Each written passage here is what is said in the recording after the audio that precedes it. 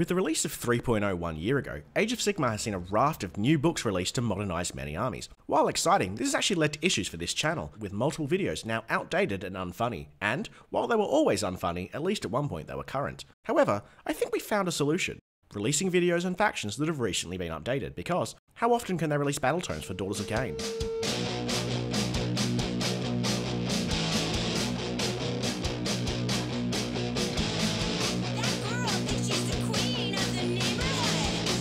Daughters of Khaine, or no, I swear I just collect them for the lore, Lords, are one of Games Workshop's earliest attempts at female representation, and it shows. A whirlwind of blade wielding big head bikini babes, murderous Gorgon esque snakes, and viciously fast winged harpies, they are an army for fans of Russ Meyer and Monster Girl fetishes. So, in other words, about 40% of the Age of Sigmar fanbase. Daughters of Khaine finally provide the answer to what a matriarchal society would look like, and that answer is much more efficient. DOK are led by Morathi, a true girl boss and maybe the only actually competent god in the mortal realms, despite only recently being promoted, outsmarting the guy this whole game is named after multiple times.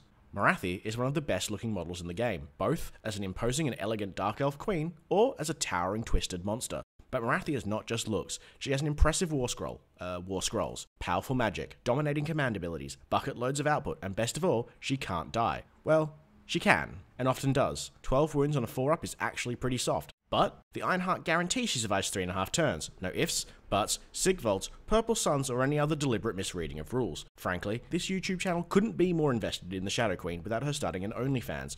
Welcome to my new channel, Age of Simping. With or without her, the Dark Air Elves are a frenetic buzzsaw on the battlefield. The army moves fast and often produces scary output, only becoming harder, better, faster, stronger as the rounds go on, thanks to their blood rites table, the main DOK allegiance ability that stacks increasingly powerful buffs on the army with every passing turn. Unsurprisingly, the army has multiple ways to move further along the blood rites table early, with 5th round buffs not particularly hard to achieve. People even speak of a mythical 6th battle round buff, where you simply smash all your opponent's models with a hammer because they didn't hate you enough for shooting them twice in a turn with 15 bow snakes already. Like everybody else, DOK come with a range of sub factions to choose from, like the objectively best one, the snake one, subjectively best one, and others. The army within these sub factions can take many shapes, often powered by hot lady priests in hot rods and hot dommy mummies, leading hot ladies with knives, mysteriously hot ladies with whips, hot snake ladies with bows or blades, or hot devil ladies. Also, the Tin Man from Wizard of Oz got a hell of a glow up. DOK also have an excellent selection of endless spells and invocations to choose from, including a giant snake made of blood that just straight up eats your opponent's models, because sometimes this game is so rad it hurts.